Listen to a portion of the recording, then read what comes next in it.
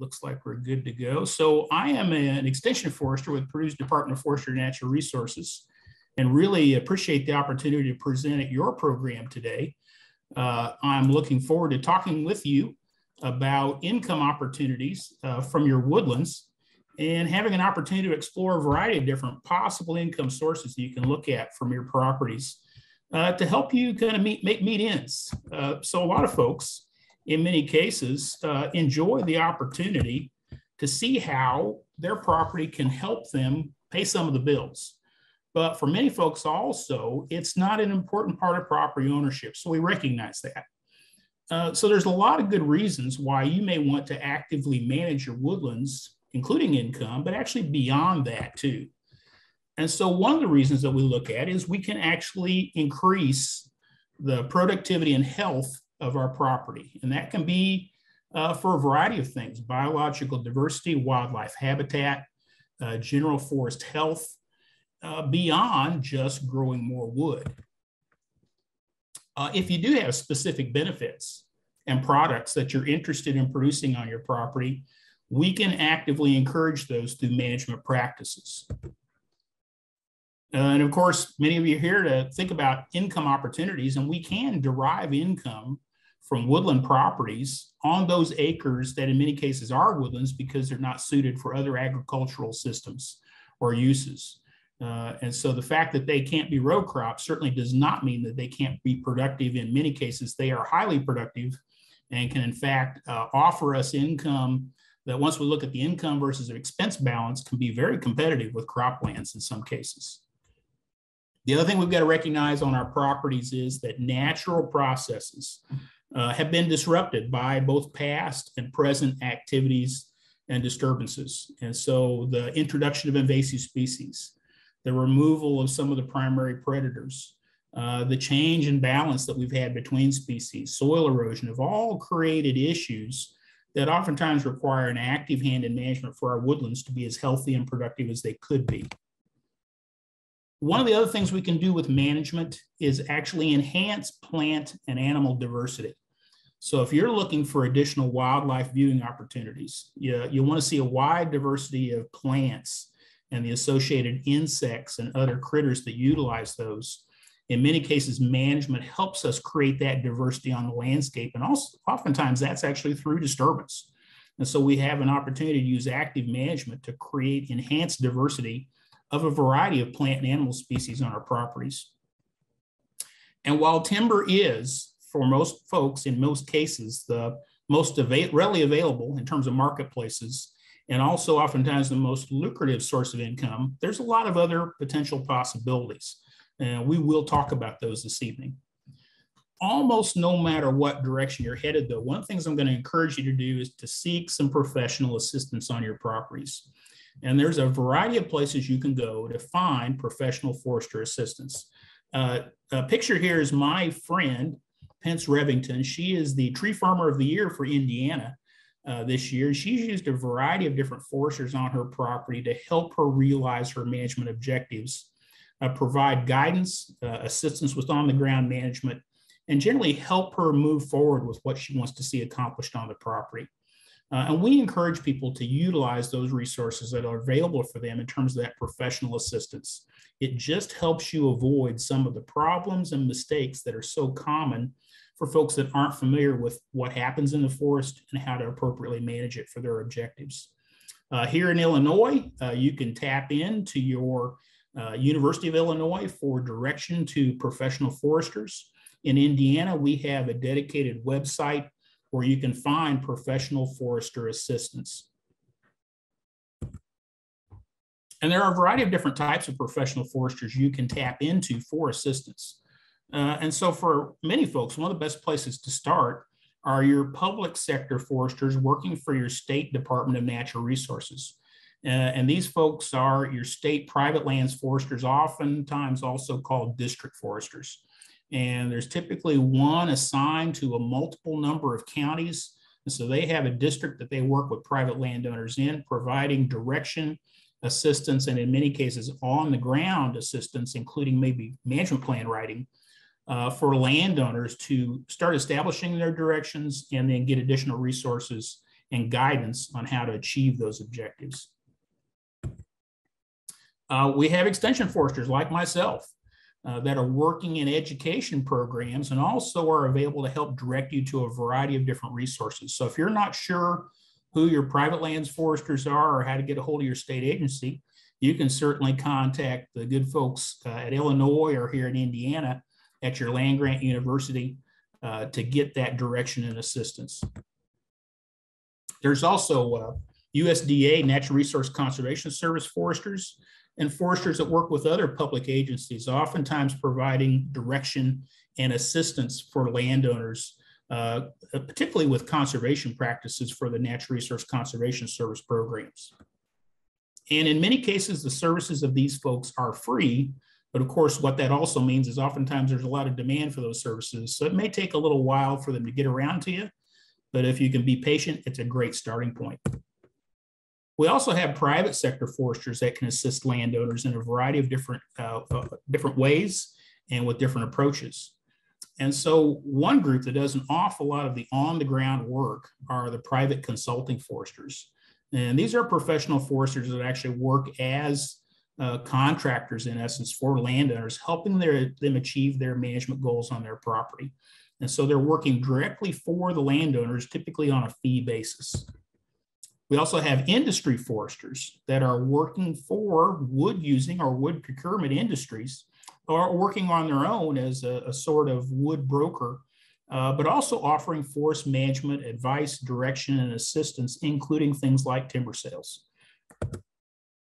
And then there's a variety of non-governmental organizations. One I think of is the Nature Conservancy, uh, that oftentimes has foresters on staff working with landowners in a variety of the programs that they're emphasizing. Uh, this also includes some of the groups like National Wild Turkey Federation and a few others uh, that have act active conservation programs that they're utilizing uh, professional forestry assistance to work with landowners that are cooperating with them. So you can see you've got a lot of different outlets for assistance uh, in a professional context to help you direct yourself uh, with their assistance on how to get the, the best benefits out of your property. So what are some of the services you might expect from a forester uh, who's going to work with you? And so in many cases, they're going to offer you an on-site property review. And you can expect them to be asking some questions of you as they go along. So what kind of goals or expectations do you have for your property? What do you enjoy about your property? What are your plans for the future? Uh, they can offer a variety of management options and recommendations based on your property and the information you provide them. And then once you make some decisions about what direction you want to go, typically the next step is to start developing management plans. Uh, and so we can essentially tune those plans to meet your objectives based on the property, uh, the resources available, and the situations we need to, to manage and deal with to put that property in a position where it's going to be moving toward reaching your goals for that property. And this might include uh, marking and marketing and administering timber sales. Uh, so foresters can work with you, oftentimes in the case of a consulting forester, as your agent to help you through that process. Uh, you may have a situation where you want to do some tree planting to do a little additional reforestation or wildlife habitat development. And in many cases, they can develop plans, provide advice, and actually in some cases do the plantings uh, on a contractual basis. Uh, there's a variety of woodland improvement practices, including invasive species control, thinning, pruning, uh, weeding that we can do in the forest, uh, oftentimes kind of lumped together called forest stand improvement that will improve the growth, productivity, potential of our properties and move us closer toward that position where we're realizing our objectives uh, another important area, and we're going to talk a little bit more about that, is information on tax management. And so particularly when we sell timber, but also when we're doing some other activities, there's opportunities to reduce your property and uh, income tax liability based on your current situation. And foresters oftentimes can provide you direction on that. There may be situations where you need evaluation done on your property, either for an estate settlement or to set up what we call a basis for selling timber. Uh, so we can actually use that against income as a, a, reduction in income tax liability. And so there's a variety of valuation tools and services foresters can provide in many cases. And then if they can't provide the services you're looking for, oftentimes they know people who can. And so they can provide referrals to you uh, to get additional professional assistance or on the ground help that you need for your management needs. Now, as we mentioned, uh, the primary folks that are actually going to be help you with timber sales uh, are consulting foresters and industry foresters. And they're kind of coming from two, two, different avenues in terms of this timber sale process on private properties. So the consulting foresters actually a person that is working for the landowner, oftentimes on a fee or commission basis. And they can mark and market trees for sale and essentially administer the whole timber sale process. And oftentimes they're marking trees based on your objectives, marketing to likely buyers, and then oftentimes setting up a competitive uh, timber sale process, uh, setting up a contract, and then overseeing uh, the, the operation to make sure everything's done according to contract. And they can also help you with the tax and valuation issues as well related to that. So lots of services they're providing, but you're of course paying for those services. On the other hand, we have industry foresters who are typically purchasing forest products like standing timber or logs, uh, and also negotiating and marking sales and harvesting timber on private lands. Uh, and they also, in many cases, will offer additional management assistance too.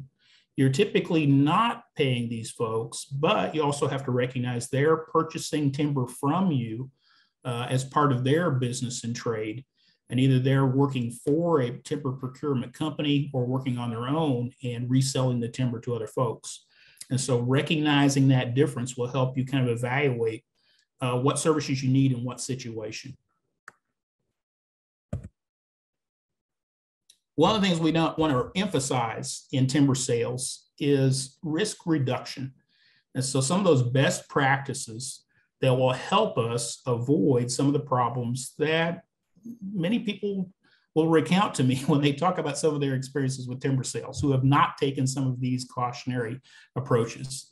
So the first thing is this is a sale of real property uh, and can have significant value. So you absolutely need to use a contract in this sale. And if you're working with a forester, typically you're going to have a contract available to you, particularly with a consulting forester. Uh, I'm a strong encourager of all trees that are to be sold should be marked both on the trunk and also on the stump. Essentially, that stump mark is your receipt that that tree was one that should be taken once it is. And so marking all the trees to be in the sale is an important part of that. The other thing that is important for you to get the best value out of your timber sale is effective marketing to the folks that are be most likely to be interested in the material being sold. And that is something where a forester is going to be very beneficial because they are working in the markets on a regular basis and understand who would be most interested in your timber and how to market that effectively. I also strongly encourage folks to use a competitive process. And oftentimes this is in the form of a sealed bid sale where an advertisement is sent out uh, for bids to be made on this timber that has already been marked. They oftentimes have a month or two to have a look at the timber, and then bids will be open at a set date, time, and place. And the highest bidder has the opportunity, in many cases, with the approval of the landowner and the forester, uh, to, to buy that. And so that competitive process can give you, if not a fair market value, in some cases, even a premium market value. The other thing you want to make sure that happens is you get paid in full before any timber is cut. Uh, oftentimes there's a schedule for a down payment and then a completion of payments for the timber. Uh, but it's important before timber actually starts coming off the property that all payments are completed in full. And that's simply to protect you from a company that might be in financial trouble or actually go out of business and you've got logs that have left your property, but you haven't been paid for them. And if that's the case, you may not get paid for them. So important that you get paid for all that material before you actually see that material hitting the ground. Uh, we typically in the contract have a variety of stipulations uh, outlining the conditions for logging. And so limitations on wet ground, limitations on access points, uh, timing, how much time they have to do the logging, any kind of closure periods that are necessary for property operations. And so those are all going to vary from property to property, but that's something your forester can help you do is determine what those best conditions are. The other thing that's really important, and a, a good consulting forester friend of mine says it this way, is that one of the most important jobs he has is to set expectations, uh, both for the landowner, but also for the logger. And so he's acting essentially as an intermediary and a communicator, setting those expectations of what to expect from the sale, what kind of work we need to be doing, and then monitoring that to make sure all those expectations are met. And a lot of that involves significant communication back and forth. The other thing we're looking for are loggers and buyers that are appropriately licensed and bonded based on state laws, and also that they have training uh, both in safety and in efficient and safe operations on the property. So they're limiting risks to people, but also limiting damage to your property as well. You definitely want people operating on property to be well insured, uh, typically both for liability insurance, but also for workman's compensation because it is dangerous work. And once again, we want to reiterate good communication back and forth between the forester, the landowner, and the logger. And uh, a, website that you can actually visit that has multi-state information on selling timber is call before you cut. And I encourage you to have a look at that site. Uh, it also provides a lot of good information about managing uh, and really considering the situations for timber sales before you jump into that and maybe make some decisions you would regret later. So we mentioned that competitive process, and this is an actual timber sale from several years ago. I've changed some names, uh, so there was anonymity uh, still in place, but you can see the difference in bids. And so if you don't have a competitive process and you're essentially accepting the offer that is given at the door, you don't know whether that offer is coming from buyer 19 and buyer or buyer one. And you also if you're not in a competitive process, even buyer one or two probably is not going to offer you that higher amount if they're not thinking they're in competition with other buyers. So that competitive process can really help you get the true value out of your timber sale. And once again, that really goes to using professional assistance to get the very best results. Now, I will say that that was a particularly high quality timber sale. Uh, here in Indiana, a normal timber sale might get uh, anywhere from four to six or seven bids in many cases. Uh, if we've got lower grade timber, it might be a little lower. If we've got really high grade timber, sometimes it'll attract quite a bit more interest. We did mention taxes, and there are several tax considerations for timber sales. And so some of the things that you can consider uh, that can be advantageous for you in selling timber is uh, trees, when they're sold, may be taxed as a capital gain if certain conditions are met. And so typically, if we're selling as a lump sum sealed bid sale, so all the trees for a set sum of money, uh, it typically would be eligible for capital gains treatment. And other types of sales can be if we do the right kind of, of tax gyrations and file the right type of, of uh, verbiage to indicate that. Uh, selling logs, oftentimes you may not be uh, eligible for capital gains treatment. So it's important to consider what the ta tax implications of how you're selling timber are. Uh, the other thing is that costs associated with the sale of timber can typically be deducted prior to figuring your tax liability. So if you hire a consulting forester and you're paying uh, that forester for services, uh, if you have to have any uh, lines marked or any surveying done, in many cases, you can apply those expenses against the income and take that off of the total figure. The other thing you can do uh, is your capital basis in the timber can offset some of your tax liability. And so, what is that basis? Well, that basis is the value of the trees when you either purchased the property or inherited the property. Uh, and that is a little more complicated than it sounds. You're typically going to need a forester to help you figure out what that basis is. But once you've got that basis, you can once again have your forester help you do this calculation. You can figure out how much of that basis you could apply against the income you get from the sale to once again reduce your income tax liability. So it can be an exercise very worthwhile to do, particularly if you've not held the property for a particularly long period of time. Pardon me. Uh, a lot of this information and much more is available at the uh, National Timber Tax website. And so this uh, web address at the bottom, uh, to get more familiar with that process, I'd certainly encourage you to take a look at that site. It'll give you a lot of good guidance on the tax issues uh, and the different things you can do to reduce your tax liability associated with timber and forest management properties. So I'm going to transition now a little bit. We spent a fair amount of time on timber sales. Uh, I can spend two hours on that, and we don't have that tonight. Uh, so I encourage you to look into that more. Definitely talk to your foresters a little bit about that if that's an area you're interested in. But I do want to transition into some other areas of potential income and some other areas we need to think about when we're managing our properties. And one of those is that in many cases, we are really kind of doing catch up work from past mismanagement. Uh, and it may have been uh, intentional actions on a property. It may have been mistakes previous landowners made. It may have been the kind of natural, uh, didn't do anything because I didn't know what to do type of, of approach, the lack of management. But in many cases, we're having to do a little bit of extra work to get our properties back in the best condition they can be in. So some of the problems we face.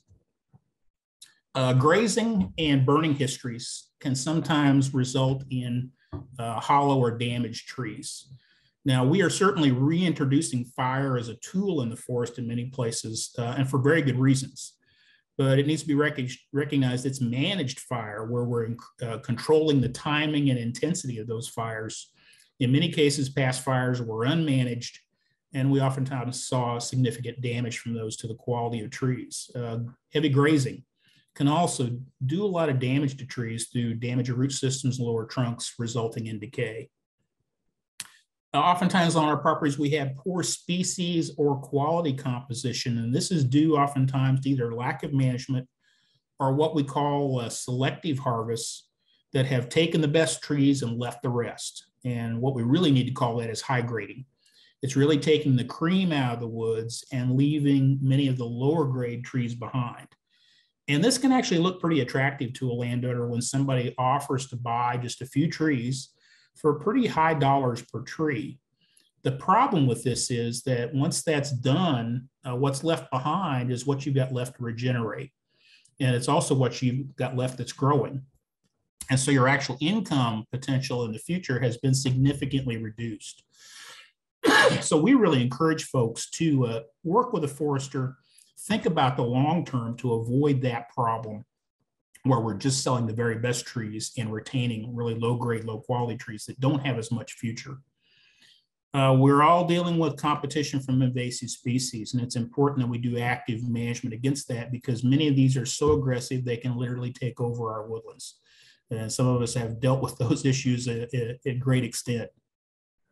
We also have native vines like grapevine that can be competitive with our trees, and they have certainly have a place on the landscape. But if they're at high numbers or in trees that we really want to see grow and do well, we need to do some control and management of those to reduce the numbers and reduce their impacts. And then in many cases, we've got woodlands that uh, are overcrowded and could actually be more healthy, more resilient, and growing better with some active management through thinning and or harvesting. Uh, and so there's a variety of things that we can do to actually improve the overall health and productivity of these properties. So how do I actually go about some of this work? Well, the, the good news is that you can actually get assistance uh, from a variety of sources. And so the Natural Resources Conservation Service, part of the US Department of Agriculture, has cost assistance programs uh, as well as technical assistance programs available to forest landowners. Uh, and this assistance may be available to help you with thinning, with vine control, with invasive species control, pruning, planting, and lots of other conservation activities or concerns. Uh, and so if you foresee yourself doing some forest management on your property in the future, I certainly recommend you stop by your local, uh, they call it the USDA Service Center, typically one per county, uh, and contact that local Natural Resource Conservation Service office. Uh, let them know where your property is. They can give you an idea of what some of the programs are that might be available to you and even start the sign up process if that's something you want to proceed with. And if you like to do some of this kind of work yourself, which oftentimes I've done, uh, you can sign up for some of these programs and actually do some of the work yourself or under the guidance of your forester.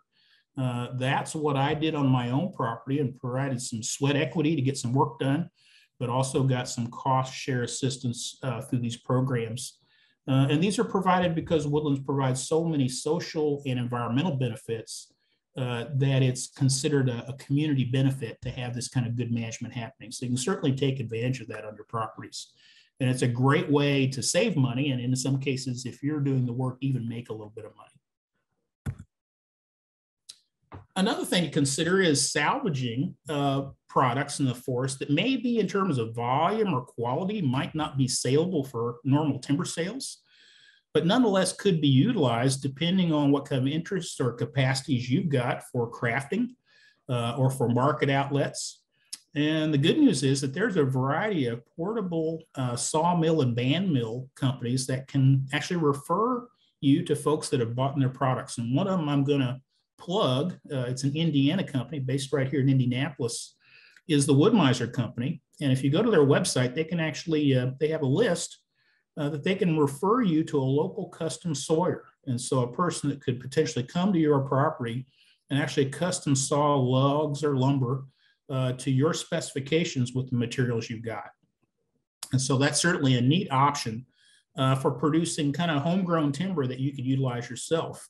They're also more than happy to sell you these sawmills uh, if you've got quite a bit to do.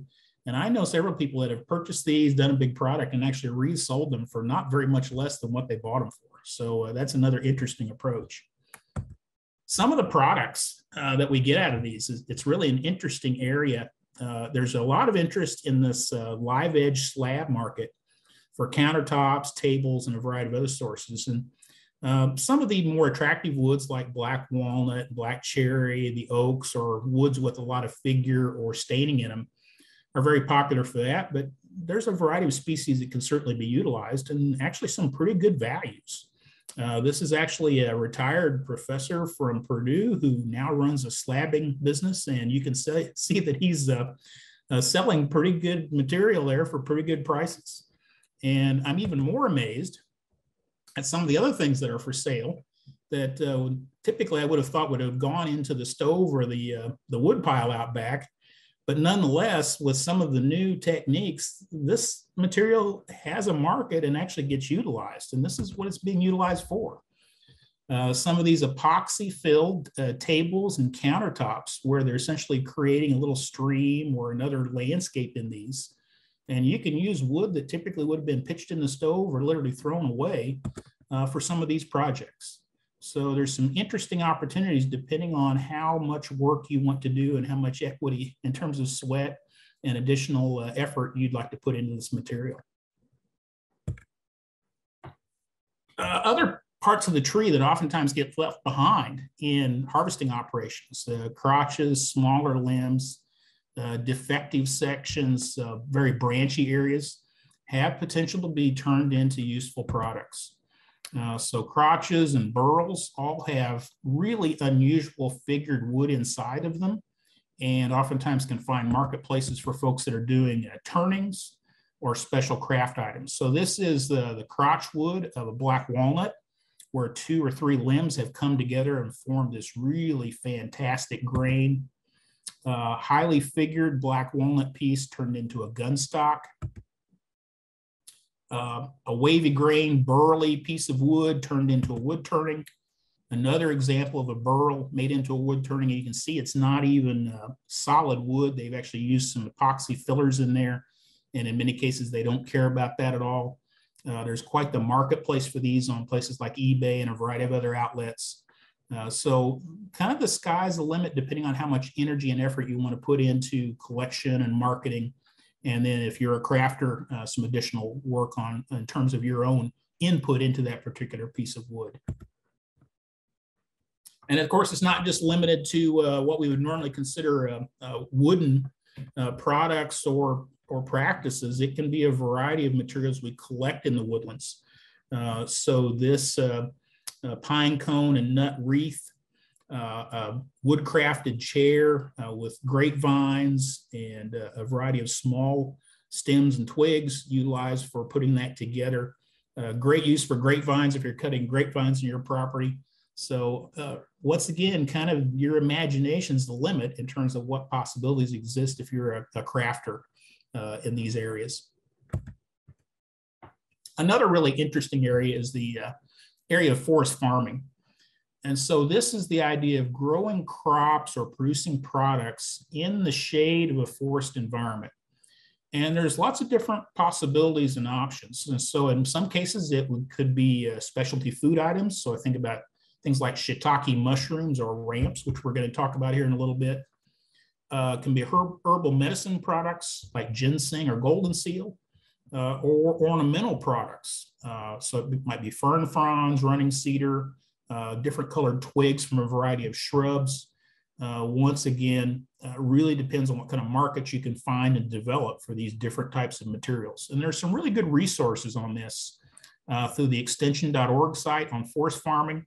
And also the US Department of Agriculture has forest farming uh, websites, and many of these have great guides and videos associated with a bunch of different options that you could look at depending on what you might be interested in and what kind of resources your property has available.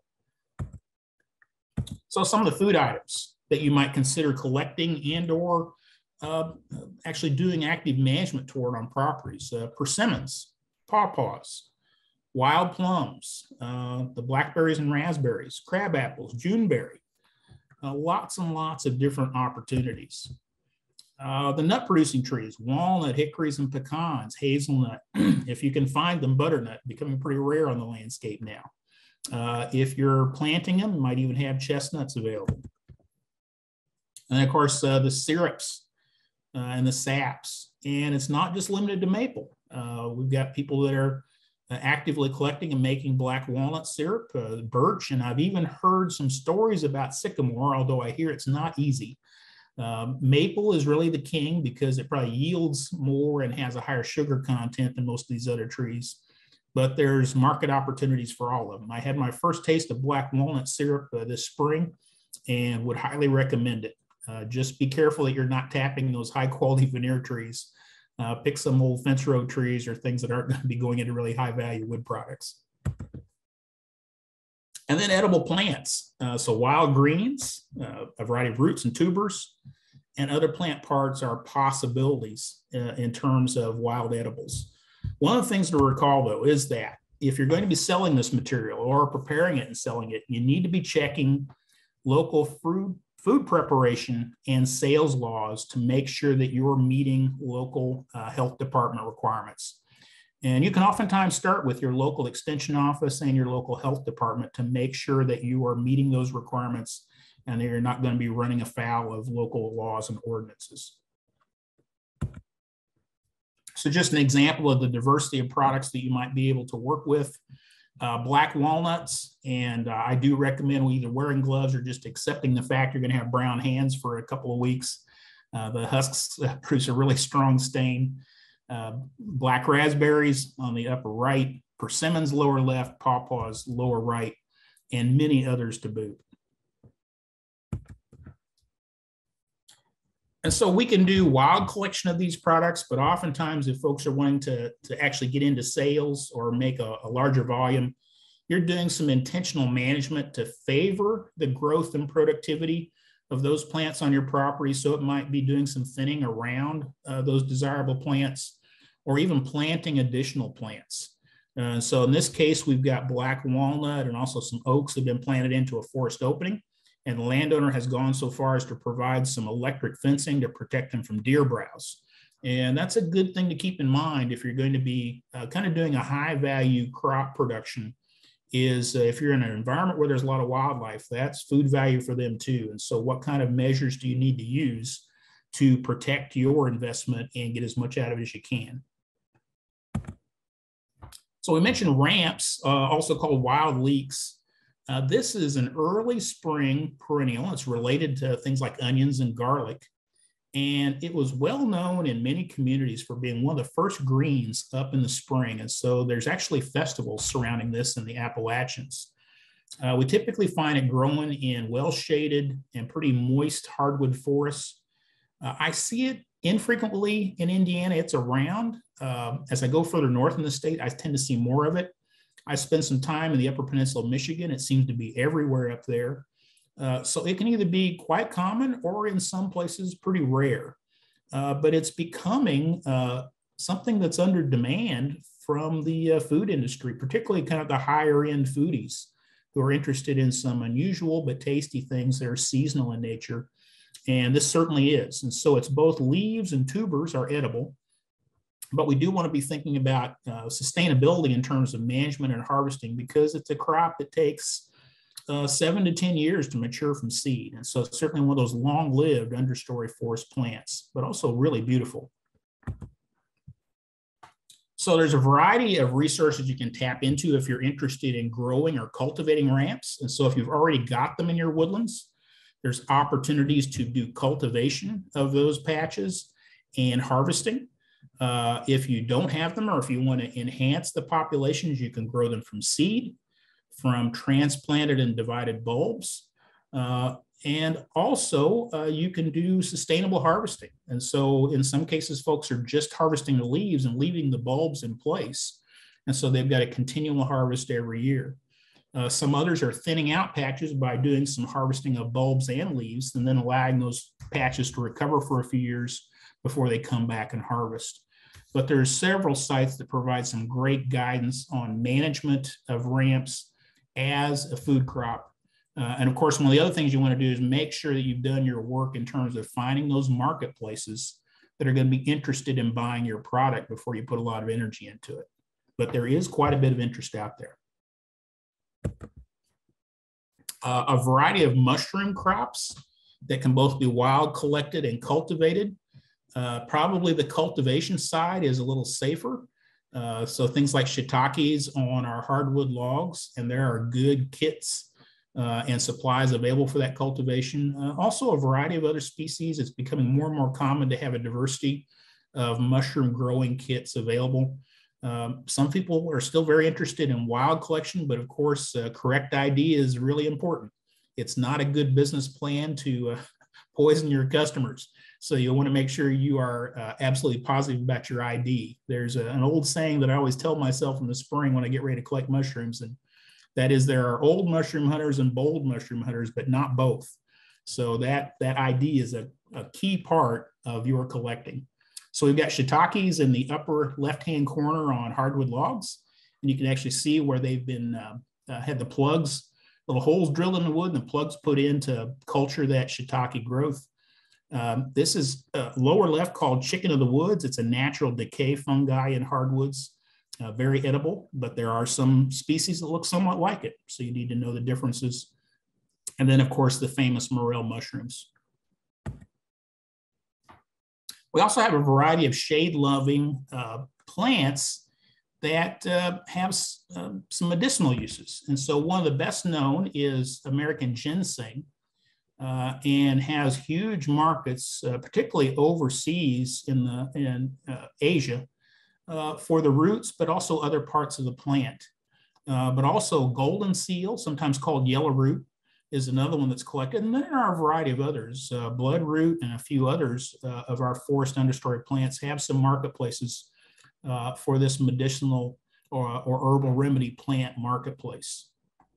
It's important to recognize these species have specific growing condition requirements and also, in many cases, particularly for ginseng, uh, regulatory uh, rules uh, and laws that govern collection, uh, cultivations, and sales.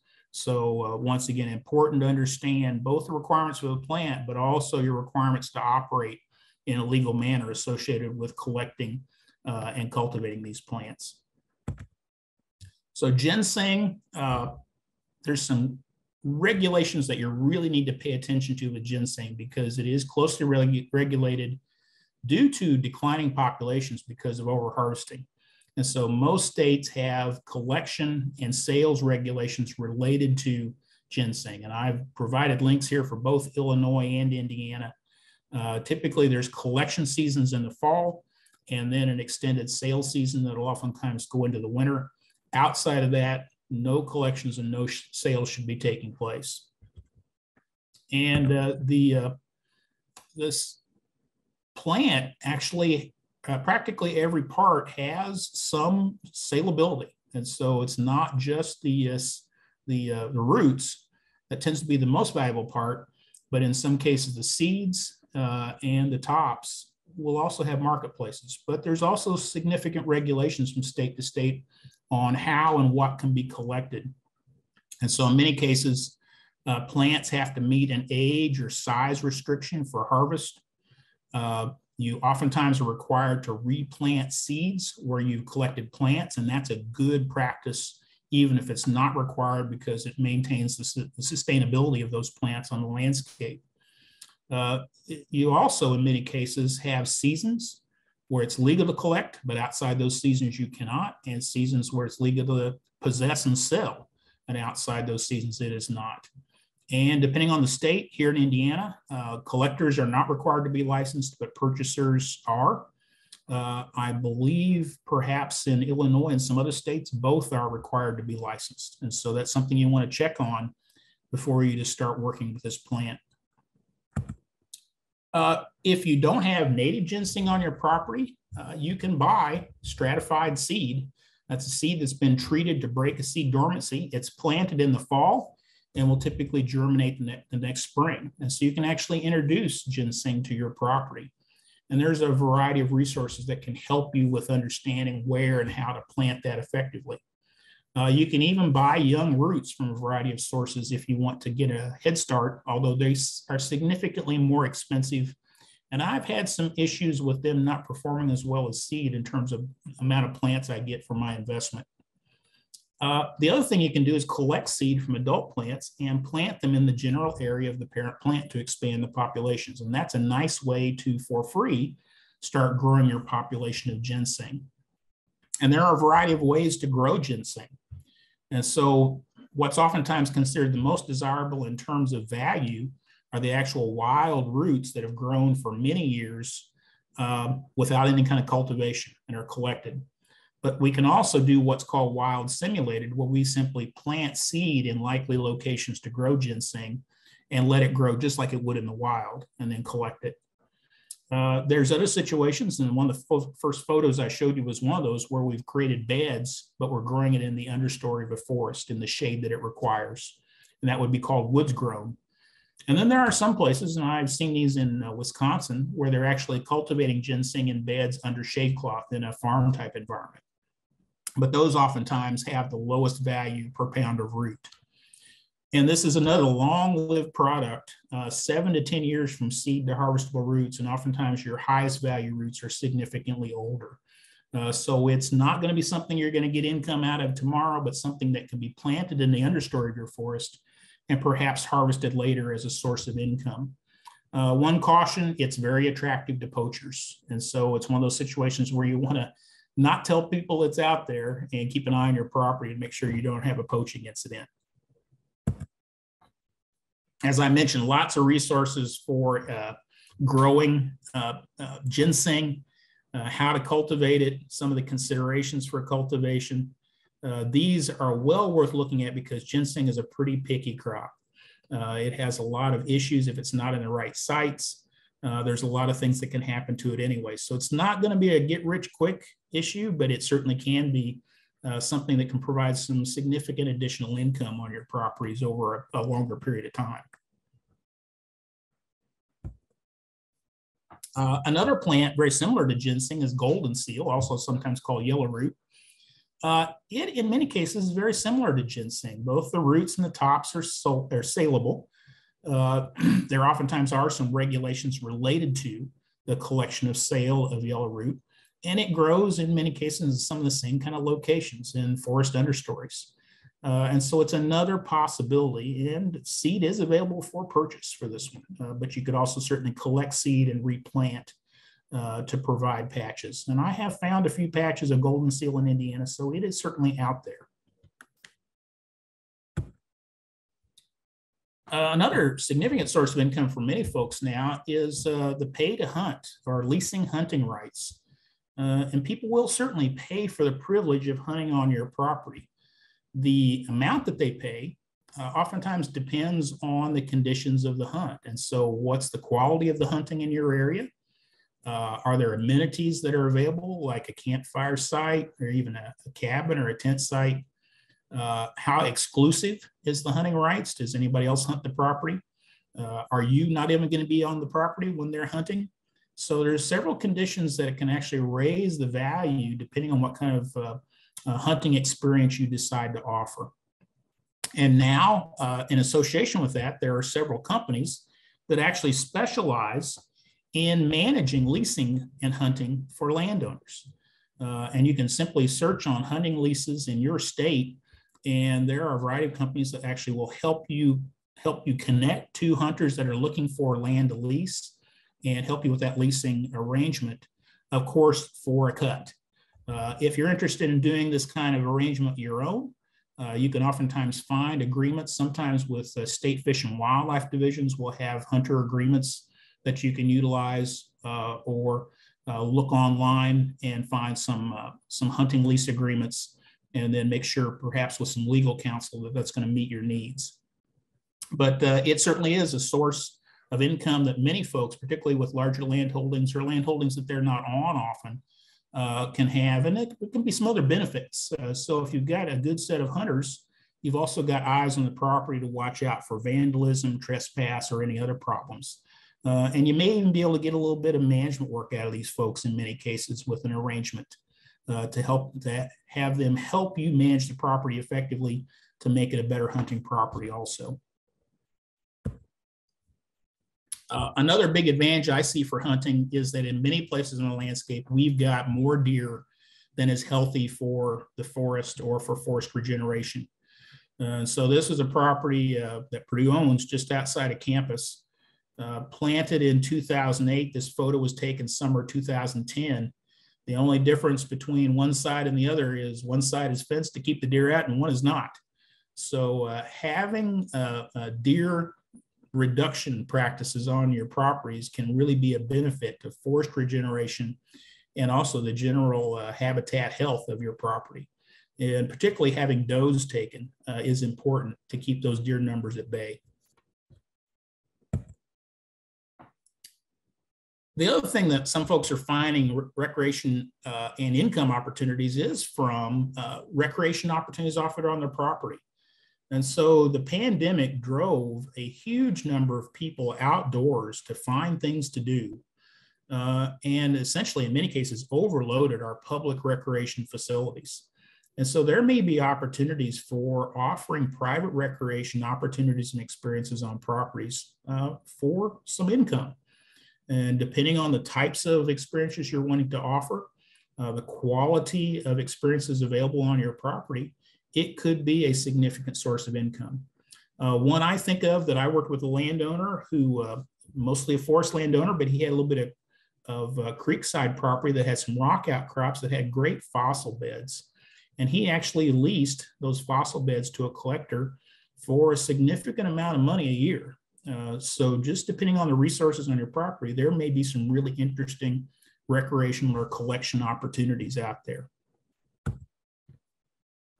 One thing to consider though is if you're inviting people to your property, you need to consider protection against liability uh, for any accidents that could happen. So it's a good idea to look for a, an umbrella liability insurance coverage on your property. Uh, even if you don't invite people to your property, that's still a pretty good protective measure. Uh, also, in Indiana, we have a, uh, agritourism law that allows you to post a sign as long as that sign is posted on the property where visitors can see it, it limits your liability when people are participating in what's called agritourism activities, which includes most of the things you would be doing on a property. Uh, if you don't have laws like that in Illinois, one thing you can look at is simply having visitor notices or even a liability release form for folks that you invite to the property uh, to pay for certain services or experiences. The other thing you want to do is check your property for potential hazards. So open wells, uh, trash piles that, that people can get into, any kind of problems that would create a potential harm or liability environment that you can address really should be. And then simply be prepared for accidents and emergencies. Uh, if anything does happen, you want to make sure that that experience is not a really negative one for the folks that are visiting your property. But having that appropriate insurance coverage, and recognizing the need to address liabilities is an important part of having people come out to your place. So what I'm going to wrap up with now is a, a, relatively new area. It's been churning for a long time, but it's kind of back on the screen now for many people, and that's the idea of actually selling uh, carbon. And so the background behind this is businesses and many other entities are looking for opportunities to offset the carbon dioxide emissions that they are producing. And they're looking to do this in some cases by reducing their emissions, but oftentimes that's not possible or practical. And so they're looking to buy what's called offsets or carbon credits from somebody that is reducing carbon in the atmosphere, that they're actually sequestering carbon on a property. And if you're a forest landowner and you're growing trees, that's exactly what you're doing. And so you are, as you grow wood, 50% of wood is carbon. So every year that tree puts more wood on, it's putting more carbon on. It's sequestering that carbon out of the environment, out of the atmosphere. And when a tree uh, dies and goes back into the soil, part of the carbon in that tree is incorporated in the soil, part of it is given off back in the atmosphere. When that tree is harvested, uh, part of that carbon goes into wood products, some of which can be very long lived. And so there's a variety of ways that you as a forest landowner are contributing to carbon sequestration and pulling carbon dioxide out of the environment. The question is, how can you get credit for that? So we've got these companies and entities looking to buy that. How do you get involved? Typically for smaller acreage landowners, it's been challenging. But there are some emerging programs for private woodland owners uh, that don't have two or 3,000 acres or more. Uh, historically, that was kind of the, the uh, lower level that you could get into just because of the costs associated with the management, uh, the, the measurements, and the actual auditing of the carbon that was going to be sold. So several companies now have developed programs where they're actually helping smaller acreage landowners enter these marketplaces. Uh, they are not, unfortunately, available everywhere. And there are a lot of variability between programs. Uh, typically, though, you need to recognize you're entering into a contract to deliver a certain amount of carbon captured on your property and retained there for a period of time. So you need to recognize that sometimes this does not operate in conjunction well with timber harvesting. Uh, so your ability to harvest timber and get that income could be impacted by selling the carbon accumulated in your trees in a carbon market. Uh, so there may be trade-offs there. And as I mentioned, each of these uh, schemes has different contract and timing requirements. And so it's really important that you look closely at what's being required of you in this situation. Several different options. Uh, there's a program being offered by the American Forest Foundation and the Nature Conservancy. Uh, currently offered, I believe, in three states, soon to be several more. Uh, some of the upper Great Lakes states and some additional states out east. Neither Indiana or Illinois is in this program area yet, uh, but may be in the future. Uh, so this one uh, is essentially what it's offering is payments for carbon for folks that delay harvesting or do management on their properties that can encourage additional carbon sequestration. So things that essentially make trees grow faster. Uh, good management, we would hope. Another group, uh, core carbon, uh, requires 40 acres or more. Uh, some not, I could not find a lot of details in terms of their uh, actual contract requirements, but typically it's uh, delayed or denied harvesting to accumulate that carbon. Uh, forest carbon works, once again, 40 acres or more, uh, no extensive harvesting in the prior 10 years, and then significant limits or no harvesting going forward. So you need to recognize oftentimes if you're selling carbon in some of these schemes, you're giving up uh, wood sales. Another interesting one is Natural Capital Exchange or NCX. Uh, they've recently been active in Indiana and actually offer programs nationwide, from what I understand now. Uh, it's an annual enrollment and a no acreage limit. And what you're doing is you're simply saying you're going to be deferring harvesting for the period that you have made an agreement with them, which is just one year.